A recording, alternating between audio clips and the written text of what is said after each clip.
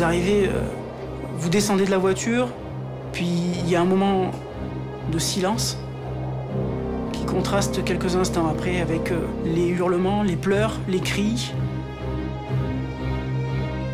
Quand je vais sur ce, trajet, cet itinéraire pour annoncer, je me dis tout le temps, mais je vais chez des gens, là, ça se trouve, ils sont en train de, de boire l'apéritif ou de faire un petit barbecue, et tout le monde. euh, Et soudainement, boum Soudainement, même s'il fait 40 degrés quand le soleil est extrême, il fait tout noir.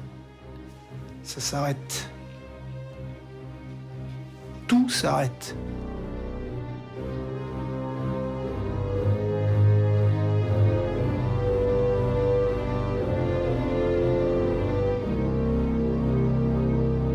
On a tapé à la porte, ça commençait à.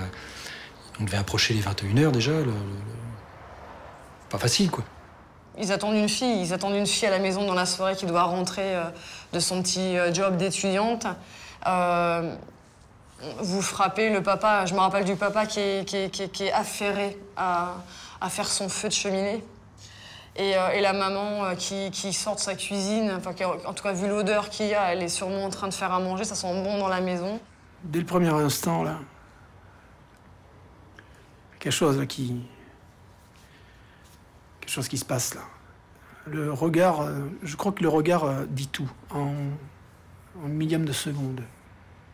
Les gens comprennent. Vous avez une mère qui vous regarde dans les yeux et qui est dans l'attente, qui sait que c'est grave et qui, et qui vous saisit le, le bras. Et, Elle a lâché la porte, elle a fait un pas de recul et. Et elle a compris. On l'a amenée dans la salle, dans la salle à manger, sur, sur le canapé, et elle s'est mise, à, elle s'est mise à, à pleurer tout ce qu'elle pouvait, quoi. Et on n'avait pas annoncé, on avait annoncé un accident. C'est tout ce qu'on avait annoncé.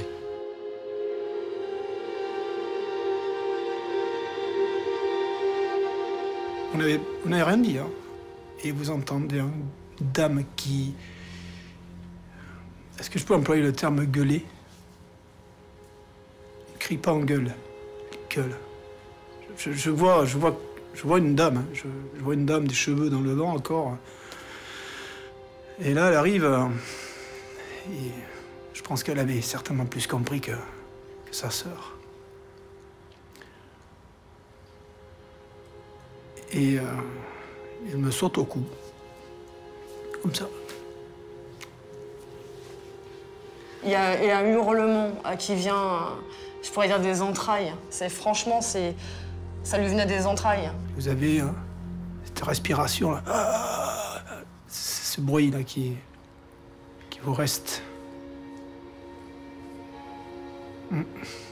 C'est des pleurs, c'est des cris, c'est. C'est pas possible, vous vous trompez, vous êtes pas au bon endroit. euh, C'est pas possible. Pendant la nuit, mon fils m'a envoyé un SMS, euh, tout allait bien. euh. Non. Non, non, non. Non, il vient de m'appeler. Il vient de m'appeler. Je viens de l'avoir au téléphone. C'est pas possible. C'est pas lui. Pendant que la femme hurle, hein, et la, sœur est, déjà en train de, de, de- de marquer des, des- des- des- stigmates d'affolement physique assez extrêmes quand même. Et le papa me dit, mais, mais c'est pas possible, comment c'est arrivé? Et on a es- essayé de lui expliquer euh, que, que son enfant de, de 18 ans venait de décéder dans un accident de la route. Et là, j'ai les yeux d'une mère en face et je lui dis, je suis, je suis désolée, madame, elle est, elle est décédée. Ouais, là, c'est violent. C'est violent. Ah, c'est violent.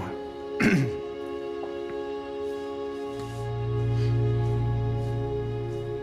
Quelques minutes avant, on avait dit à une jeune fille euh, T'as plus de papa. Vous, madame, vous avez plus de fils. Et vous, euh, vous, vous avez- votre époux, c'est fini, vous ne le verrez plus. Moi, ce jour-là, je l'ai je l'ai tué, cette femme. je je, je l'ai tuée. Vous allez annoncer un drame à, des gens qui vivaient normalement. Ils vivaient normalement jusqu'au jour où tout s'arrête.